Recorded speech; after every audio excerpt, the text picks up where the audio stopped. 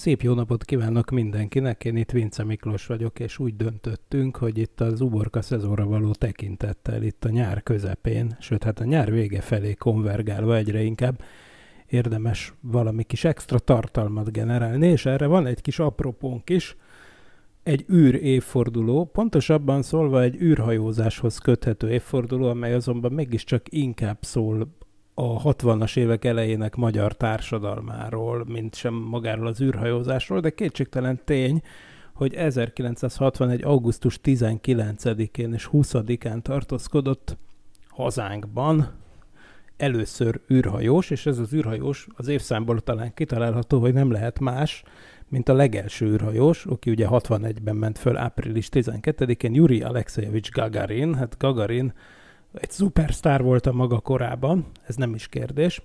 Ő ugye 1961. április 12-én hajtotta végre a történelmi 108 perces űrrepülését a föld körüli pályán, amivel örökre beírta a nevét a történelemkönyvbe, persze.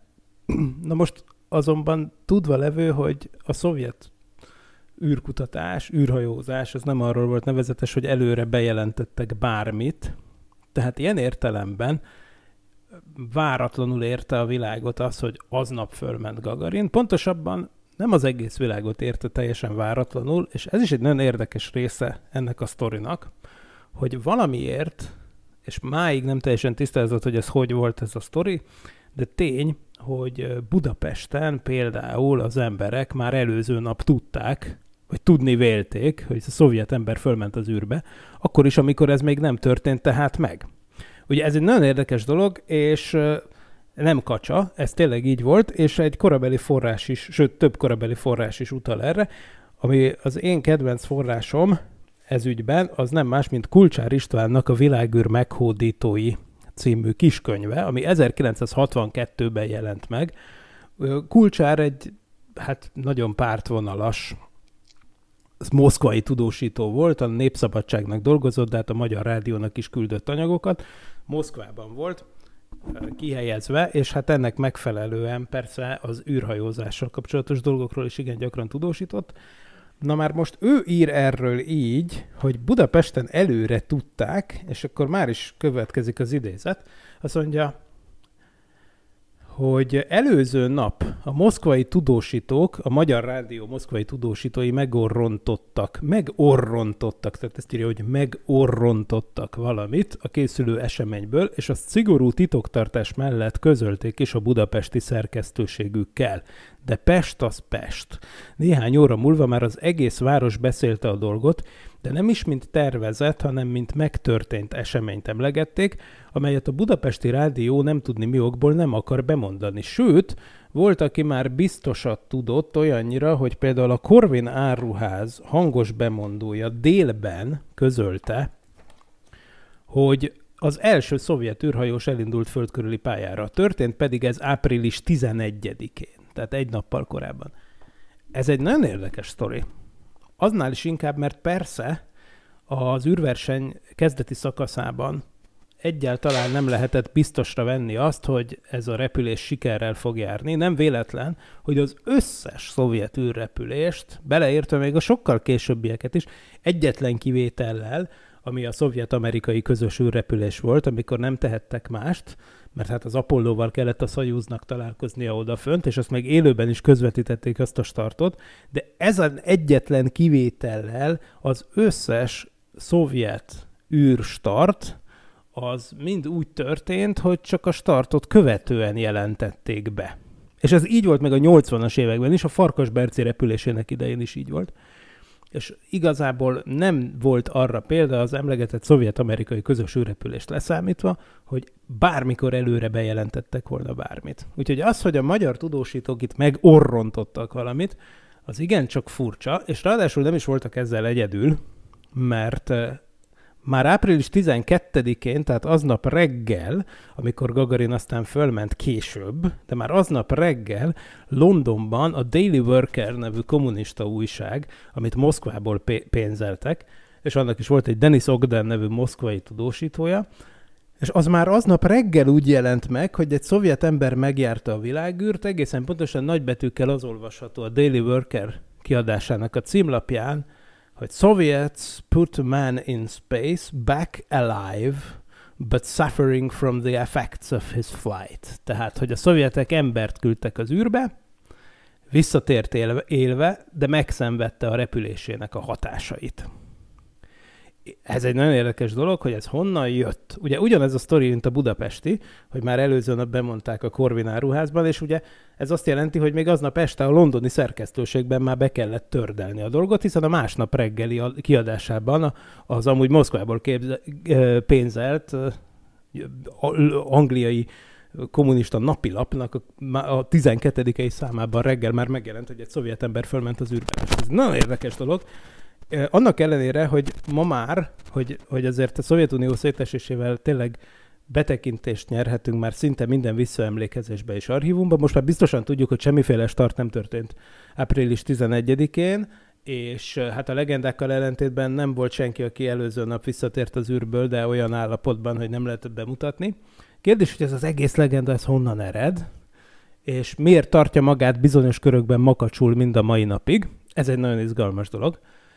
Ugyancsak a Dennis Ogden, tehát igazából itt ez a, ez a tudósítók egy csoportja körében kezdett elterjedni a pletyi, és ennek a pletyinek valószínűleg kettő hát valóságmagja van. Egyrészt az, hogy csak ugyan nyilván, ahogy írja is itt a, a Kulcsár István, hogy csak ugyan valamilyen értelemben előkészítették a, az újságírókat, hogy itt bizony lesz valami nagy bejelentés, annak ellenére, hogy nem mondhatták meg, hogy mik, de talán ezt sejtették, hogy az űrrel kapcsolatos, és akinek volt egy kis sütnivalója, és követte a szovjetek korábbi előkészületeit, amikor ö, egyértelműen kutyákat küldtek fel az űrbe, úgyhogy azokat vissza is hozták, aztán meg kísérleti űrhajókat, még egész, nem is olyan régen, tehát márciusban például volt egy kísérleti űrhajó csak néhány héttel korábban, amiről be is mondták, hogy alkalmas emberek szállítására. Azt is lehetett tudni, hogy az amerikaiak, akik nyilvánosan csinálták a dolgokat, a szovjetekkel ellentétben ők nyíl, nyíltan beszéltek arról, hogy mit terveznek és mikor. Azt is lehetett tudni, hogy az amerikaiak fölmennek majd az űrbe egy emberrel hamarosan, néhány héten belül, tehát hogy igencsak lógott a dolog a levegőben, nem kellett óriási nagy szakembernek lenni ahhoz, hogy ezt így valaki átérezze. Tehát nyilván szóltak nekik, hogy most itt hát készüljetek fel, meg csináljatok vágóképeket. A BBC tévéseit kiküldték például azért, hogy a moszkvai embereket filmezgessék aznap, hogy majd nyilván felkészülve arra, hogy majd interjúkat tudnak csinálni az utca emberével, hogy hogyan reagálnak a bizonyos nagy eseményre, amiről azonban nem mondták meg, hogy mit. A másik dolog, ami ekkoriban történt, az tényleg egy érdekes dolog, hogy volt, eh, ugye a szovjet űrhajósok kiléte, vagy hogy egyáltalán léteznek szovjet űrhajósok, az, az teljes mértékben titkos volt, tehát még egyszer az amerikaiakkal ellentétben, ahol már 1959 óta minden magazinolvasó képes riportokat olvasgathatott a hét amerikai űrhajós jelöltről, akik majd a Mercury programmal felmennek az űrbe. Most ennek a teljes ellentétle volt a szovjet rendszer, ahol minden űrhajós nevét csak a repülés közben tudhatták meg az emberek, tehát azelőtt nem lehetett tudni, hogy létezik ilyen nevű ember. Ugye ez is sokat sejtett, hogy miért.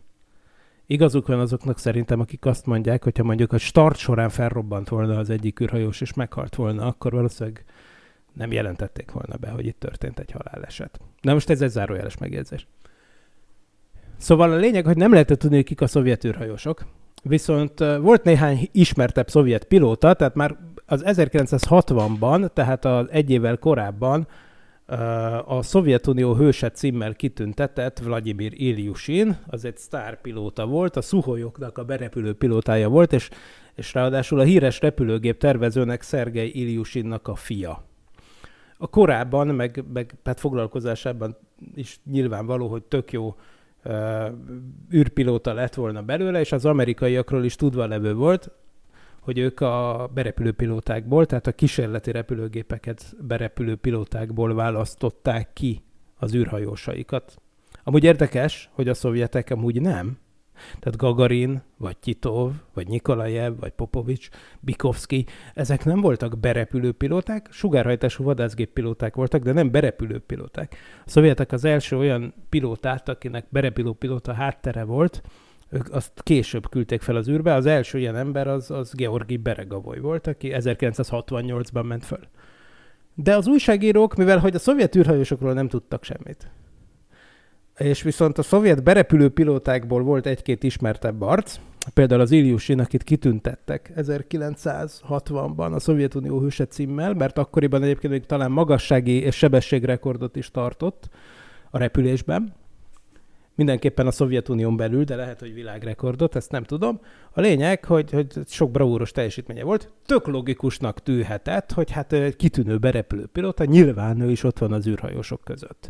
És az Ilyushin akkoriban egy balesetet szenvedett. Amúgy azt hiszem, nem is a repülés közben szenvedte azt a balesetet, de balesetet szenvedett, és ennek elterjedt a híre, hogy hát a híres repülőgép tervező fia, a kitűnő pilóta balesetet szenvedett. És ugyanúgy elterjedt ez a hír, hogy nem sokára föl fog menni egy szovjet ember az űrbe. Amúgy lehet, hogy eredetileg tényleg úgy volt, hogy a 11-ére mondták, hogy fölmegy a szovjet ember az űrbe, mert Kamanyin az egyik uh, fő alakja itt az űrhajósok előkészít, ké, ké, előkészítésének a repülésre. Lényegben az űrhajósok úgymond osztályfőnöke volt, a, a Kamanyin tábornok, az ő naplójában, ami azóta már nyilvános, szintén azt lehet olvasni, hogy eredetileg április 11-ére ütemezték be a startot. Tehát úgy tűnik, hogy minden egybe vág, tehát volt egy ilyen, hogy meg, meg sejtették a moszkvai tudósítókkal, hogy hát itt bizony készülni kell valami nagy valamire, tartsátok üresen a címlapokat, mert itt majd mindjárt jön egy óriási bejelentés, és aztán mondjuk nem jött semmi, mert egy napot csúszott a start például, teszem azt, és közben jöttek ezek a hírek, hogy a híres berepülő pilóta nemrég balesetet szenvedett. És akkor nyilván az újságírói elmék ezt így összerakták, és mind a mai napig találunk olyan embereket, akik abban az összeesküvés elméletben hisznek, hogy az Ilyushin 1961. április végén valóban fölment az űrbe, csak olyan állapotban jött vissza, ahogy ezt a Dennis Ogden féle tudósítás is írja a korabeli uh, Daily Workerben, hogy olyan állapotban jött vissza, hogy megszenvedte a repülés következményeit, és nem lehetett bemutatni a népnek. Mert hogy olyan állapotban volt.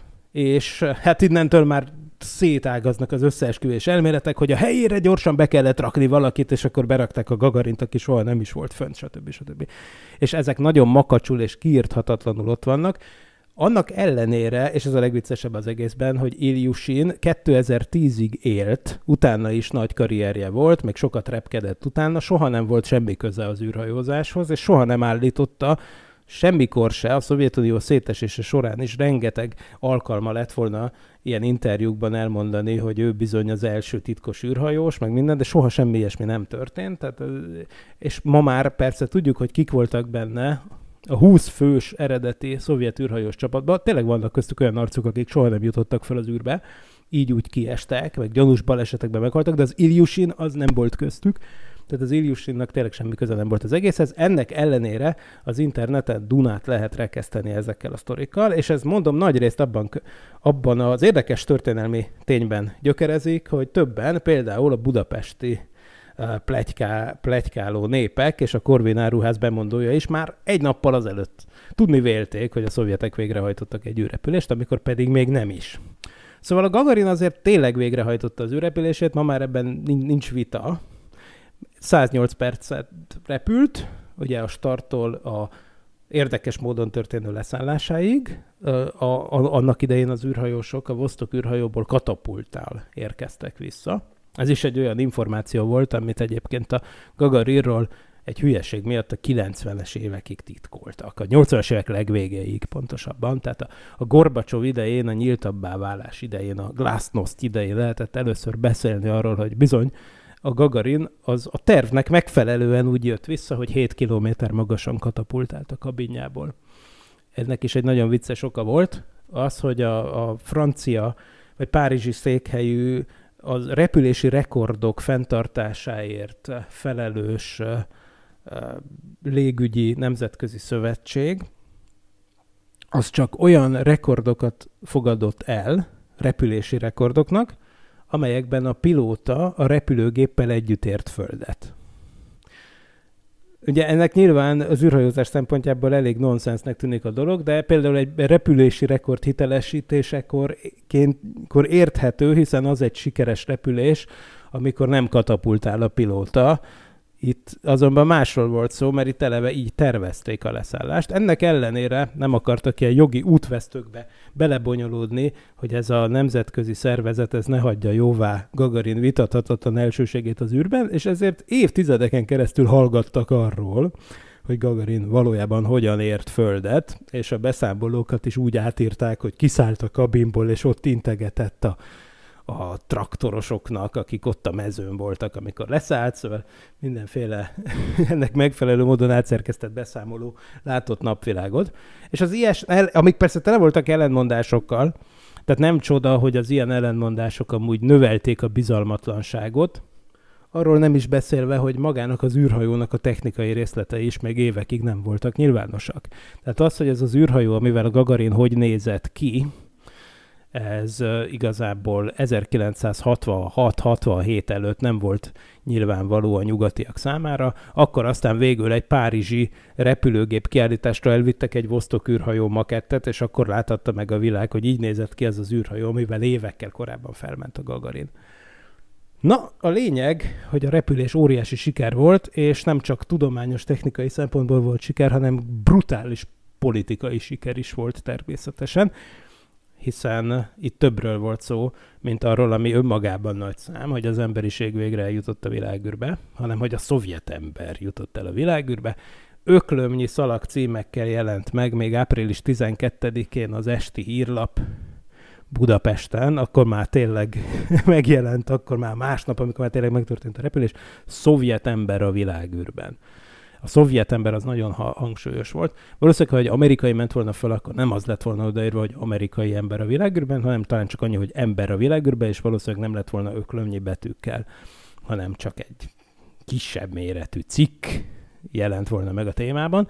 Hát itt egy nagyon-nagyon fontos diadalról volt szó, ugye ismét megmutatták a csúnya, rossz, kapitalista, imperialista, elnyomó nyugati hanyatló országoknak, hogy bizony-bizony a szovjet tudományos technológia ilyen csodákra képes, és ez tényleg egy nagy diadal volt, és nem csak azért, mert a szovjetek előbb mentek föl, mint az amerikaiak, hanem megjegyzem, hogy az amerikaiak még ha a Shepard nevű űrhajósuk, aki akkor igazából már föl is mehetett volna, hogyha egy kicsit ügyesebbek az amerikaiak, végül is megelőzhették volna Gagarint, nem tették, tehát végül a Shepard három héttel később, 61 májusában ment föl, de ha meg is előzték volna, akkor sem lett volna az olyan nagy durranás, mint amit a Gagarin csinált, ugyanis az amerikaiak Redstone rakétája az egy sokkal kisebb teljesítményű rakéta volt, ami nem volt képes arra, hogy földkörüli pályára állítsa az embert, tehát ott egyszerűen annyiról volt szó, hogy egy 15 perces föl-le repülés, egy úgynevezett űrugrás történt volna meg, meg is történt aztán májusban, ehhez képest a Gagarin az tényleg a startkor elérte a, a rakéta harmadik fokozata segítségével a 8 km per másodperc körüli sebességet, ami már elég ahhoz, hogy az űrhajó körbe esse a Földet legalább egyszer, és hát ezt végre is hajtotta Yuri Alexejevics Gagarin, aki főhadnagyként ment, föl, és őrnagyként jött vissza, mert időközben előléptették, és még egyszer, ez egy óriási propaganda diadal volt, és a Hruscsovi Szovjetunió persze ezt nem is habozott ezt itt kihasználni, olyannyira, hogy Gagarin, aki egyébként a repülés előtt soha nem volt külföldön, még egyszer egy fiatal szovjet repülőtiszt volt, alig 27 éves, elküldték azon nyomban egy világ körüli útra, lényegében a Szovjetunió utazó nagyköveteként, rockstárként ment körbe a világon, tehát ezt hívjuk végül is Gagarin második földkörüli útjának, ezúttal nem űrhajón, hanem repülőgépekkel vitték őt ide-oda, találkozott második Erzsébettel, Sofia Lorennel találkozott, Fidel Castroval, tehát lényegében mindenkivel ment körbe, körbe, körbe. Az Egyesült Államokban nem jutott el, de például Kanadába igen, Japánban, mindenhol óriási nagy üdvrivalgás, és tényleg ma már felfoghatatlan nép ősi örömújjongása, valódi Beatles koncerteket megszégyenítő hisztéria fogadta lényegében az űrhajóst, függetlenül attól, hogy éppen olyan országokban ment, amelyek nem a keleti tömböt erősítették. Teljesen készen voltak érte a nyugati népek is, Ó, mert egy nagyon megnyerő, ilyen szerény, mosolygós fiatalember volt Gagarin, és még egyszer, ilyen értelemben tökéletes választás volt. Tehát lehet ma már olvasni, hogy miért Gagarin lett az első, Kamanyin meg Koroljov naplóját sokat tűnöttek. És ugye Gagarinnak volt egy Kitov nevű tartaléka, egy Kitov nevű tartalék, nem, nem, volt, nem volt neki olyan, nem volt olyan karizmatikus, mint a Gagarin, annak ellenére, hogy technikailag jobb volt, de hát pont ez szólt egyébként amellett is, hogy őt a második, sokkal komolyabb, egynapos hosszúságú űrrepülésre tartogassák. Gagarin meg egy megnyerő modu, modorú paraszt családból származó szegény fiúcska volt, aki, aki ráadásul olyan családban nőtt föl, ami nagyon megsínlette a második világháborút, a német megszállást, testvérét elvesztette a háborúban, a német katonák bántalmazták a családját. Tényleg és innen jutott fel oda, hogy, hogy, hogy ő, ő lett az első ember az űrbe, tehát egy szocialista, szovjet 1.0-ás igazi sikertörténet volt, hát ilyennek kellett lennie. Ezzel a Titov, aki tanárok gyereke volt, és a harci eseményektől messze Szibériában nőtt föl, amikor kisgyerek volt a háború alatt, ilyesmi elő nem tudott versenyezni. Na, szóval a világ körüli turné ered, eredményeképp, illetve fontos állomásaként, tehát 1961. augusztus 19-én Budapestre is eljutott Gagarin, és akkor most ismét visszaadom a szót itt a Kulcsár Istvánféle könyvecskének. Azt mondja, augusztus 19-én eleget téve a magyar nép meghívásának, Juri egy Il-14-es külön repülőgépen, az Il egyébként, ugye ugyanúgy az Ilyushin nevet takarja, hiszen, mint mondtam, az emlegetett Vladimir Ilyushin apukája, a Szergei Ilyushin, a híres repülőgép tervező, akiről az IL gépek kapták a jelölésüket. De mindegy, zárójelbe zárva. Szóval egy IL-14-es külön repülőgépen Budapestre indul, hogy népünkkel együtt ünnepelje az alkotmány napját. Ez az első külföldi útja, amelyre felesége és kisebbik lánya a hét hónapos gálocska is elkíséri. Gagarin érkezésének már a híre is lázba hozza az egész országot. 18-án pénteken az érkezés előtti napon az emberek, elsősorban az iskolások megrohamozzák a trafikokat, papír és könyvkereskedéseket Gagarin képért nemzeti színű és vörös zászlócskákért, hogy legyen mivel integetniük. Sok olyan szervezet, testület van az országban, amely az első űrhajós nevét viseli. Mindezt alig négy hónappal a repülés után azért vágjuk. Tehát, hogy már akkor voltak Gagarin brigádok és Gagarin őrsök, tehát annyira, annyira nagy dolog volt ez. szóval ők előjogot formálnak maguknak ahhoz, és talán nem is alaptalanul, hogy ott lehessenek a repülőtéri fogadtatásnál.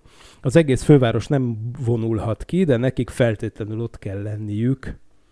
A párt és tömegszervezetekhez ezer meg ezer meghívás fut be az üzemektől, a termelőszövetkezetektől és az iskoláktól, a családoktól szeretnék meghívni szűkebb körükbe az űrhajóst feleségével és kislányával együtt, de hát Gagarinék mindössze két-három napra érkeztek hazánkba.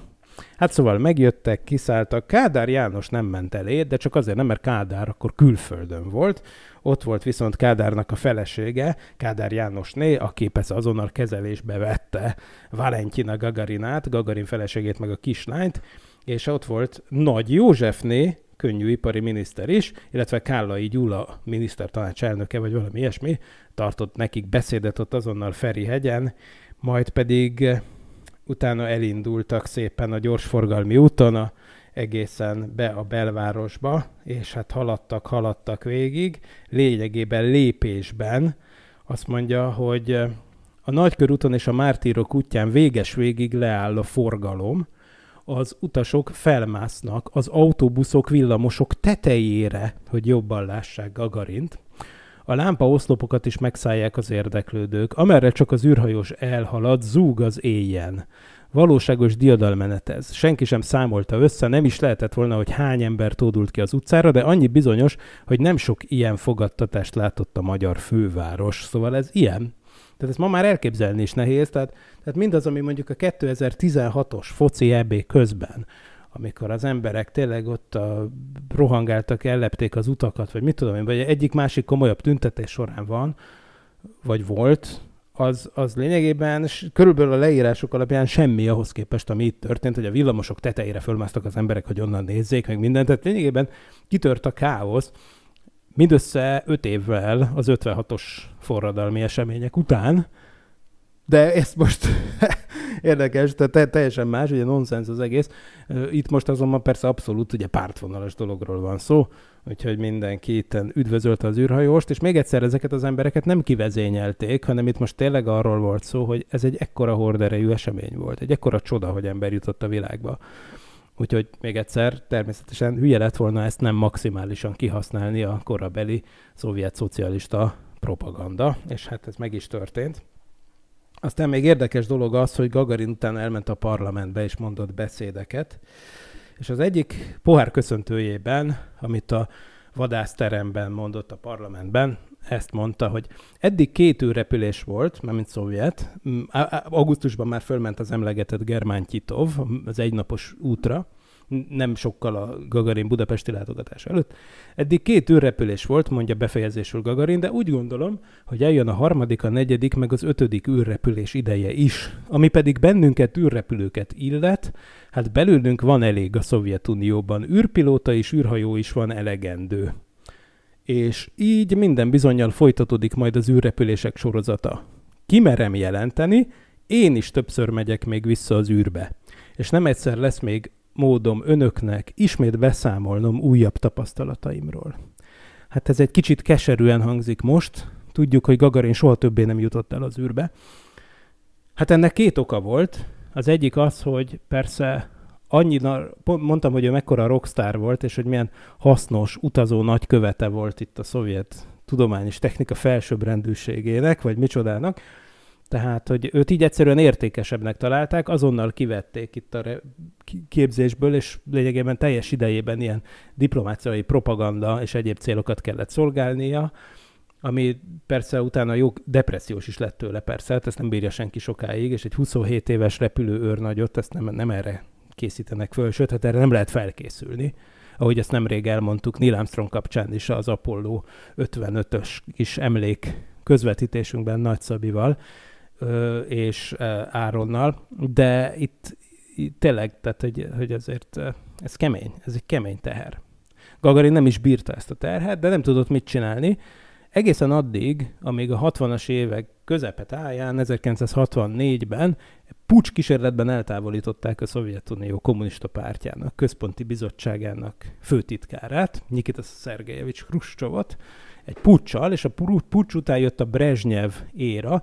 A Brezsnyev érában, mivel hogy hát a Gagarin az lényegében egy hruscsovi sikertermék volt, egy hruscsovi propagandatermék, bár a Gagarin tisztelet az továbbra is kolosszális maradt a Szovjetunióban, de nem vitték már annyira körbe a világ minden táján, és ekkoriban, a 60-as évek közepén a Gagarin lehetőséget kapott arra, hogy szépen lassan visszaszálljon az űrhajós képzésbe, és el is kezdett készülni a második repülésére. Sajnos azonban 1968-ban szerencsétlenség áldozata lett. Ugye lezuhant a MiG-15-ös repülőgépével egy edzés során, amikor épp a repülésére készült, és emiatt kellett neki repkednie, de hát már egyébként el is szokott ettől a dologtól, és a Szerjogin nevű oktatójával együtt két személyes repülőgéppel máig gyanús és sok összeesküvés elméletre okot adó körülmények között, de lezuhant, és meghalt 1968-ban, és meg ekkor is, ugye Gagarin még nagyon fiatal volt, meg ekkor is, amikor elhunyt, akkor is 34 éves volt, így aztán ő hát örökre így marad meg nekünk az emlékezetünkben, mint az a fiatal mosolygós srác, aki először ment fel a világűrbe, és így ért véget az ő élete, nem jutott el többé a világűrbe, de hát emlékét persze megőrizzük, minden évben a világ minden táján, nem csak a volt szovjet blokk országaiban, hanem